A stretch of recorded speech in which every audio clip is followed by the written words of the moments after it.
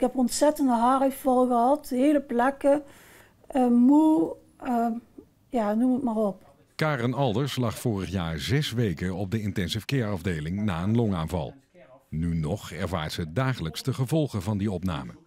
Je bent echt dood en dood ziek.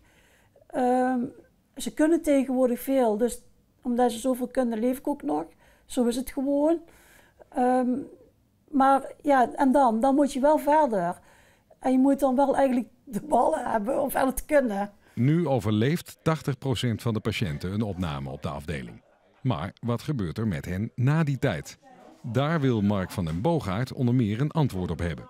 En er komen nu steeds meer signalen af dat die patiënten die de intensive care hebben overleefd, dat die na de hand juist heel veel uh, lichamelijk, maar ook allerlei psychische problemen krijgen. Signalen zijn er dus wel, maar echt onderzoek is er nog nooit gedaan.